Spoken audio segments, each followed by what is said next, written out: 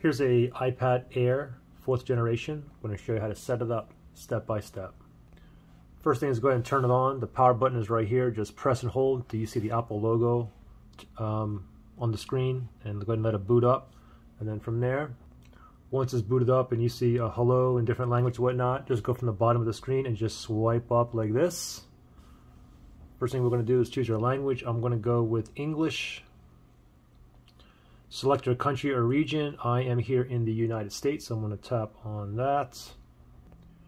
If you have a iPhone, another iPad, you can bring it close by and go ahead and do a quick start. It'll go through the setup um, process a little bit faster. If not, just tap on setup manually, which I'm going to do here.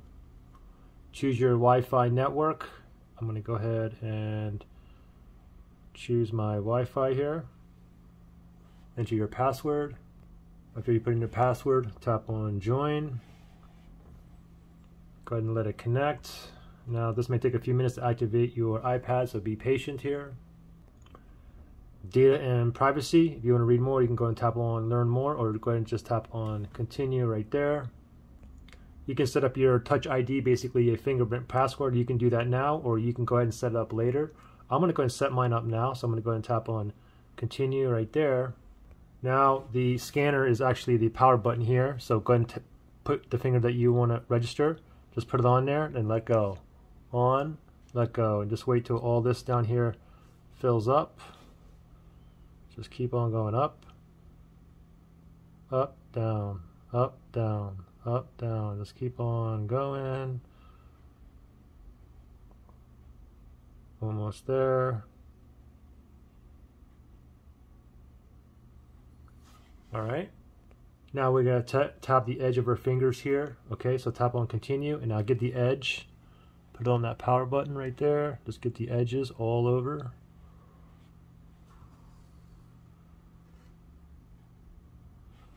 Right there. And now we're done with that. Let's go and tap on continue. Now if you want you can go ahead and add another fingerprint or whatnot or you can always do it later. Okay, I'm going to go ahead and set mine up later. Go ahead and create a passcode. It's going to be six digits. Once you put it in the first time, it's going to ask you to reconfirm. So reconfirming here. All right. I'll give it one second here. Apps and data. Choose how you want to transfer apps and data to this iPad. You have several options. Okay, you can restore from a iCloud backup. You can restore from a Mac or a PC that has iTunes. You can transfer directly from another iPad. You can move data from an Android phone or a tablet as well. Or you can go don't transfer apps and data and do a whole clean slate, which I'm going to do. Okay, so I'm going to tap on don't transfer apps and data. Now it's asking for your Apple ID. You can go ahead and put that in now. Or if you forgot your password, you can tap it in there. Or if you don't have an Apple ID, you want to create one, you can tap here as well. Okay, so for me, what I'm going to do is I, I want to set this up later. So for me, I'm just going to go ahead and tap down here, forgot or don't have Apple ID. Let me tap down here. And then I have an option set up later in settings, which I'll do because I, I, don't remember my um, password here. So for now, I'll tap on don't use.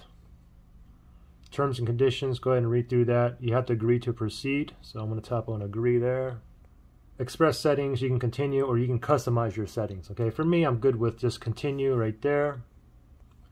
Keep your iPad up to date. I'm going to tap on continue.